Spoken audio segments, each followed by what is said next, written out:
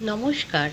গত নয়ই আগস্ট রোজ সোমবার ম্যানকাইন্ডের তরফ থেকে সমাজসেবী সঙ্গীতা দত্ত চক্রবর্তীর উদ্যোগে আগরতলার বটতলা চত্বরে দুস্থদের মধ্যে প্রসাদ বিতরণ করা হয়।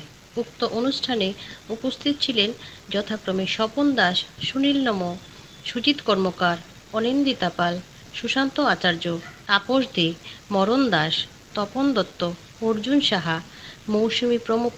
অবশেষে সমাজসেবী শ্রীমতী সঙ্গীতা দত্ত চক্রবর্তী কিছু বক্তব্য রাখেন। মানে সেলফ স্যাটিসফ্যাকশন পাওয়া যায়। আর বড় বড় মহাপুরুষরা তো বলেছেন। Hundred percent successful life is better than satisfied life তো তার জন্যই আমরা হ্যাপিনেস পাওয়া যায় তার জন্যই আমরা করি করে যাব।